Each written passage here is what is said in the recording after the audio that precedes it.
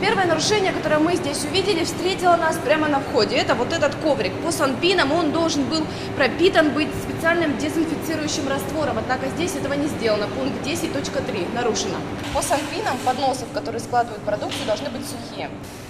Ну, девушка, ну там же не все мокрые. Какие-то уже высохли. Давайте посмотрим. Этот поднос мокрый.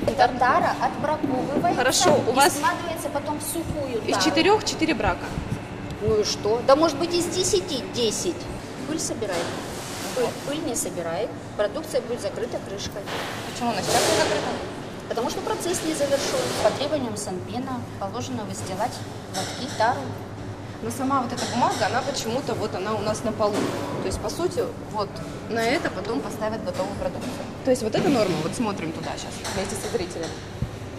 Сегодня пятна, завтра лужа, послезавтра штукатурка. Так у вас уже было, мы это уже снимали. С крышей решили вопрос? Конечно, решили. Почему опять пятна на потолке? Ну и что? У вас опять течет крыша.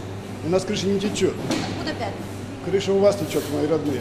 Я увидела замечание по Я вам дала комментарий. Не надо меня снимать. А потому что вы не можете по-другому.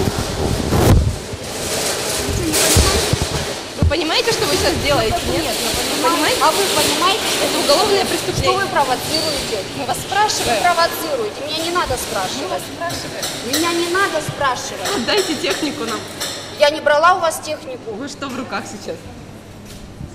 Я вам не давала разрешения на то, чтобы меня Не снимать. трогайте Ну это оператора. что за бред-то? Вы не трогайте оператора. Мы сейчас будем вызывать полицию и писать на вас заявление.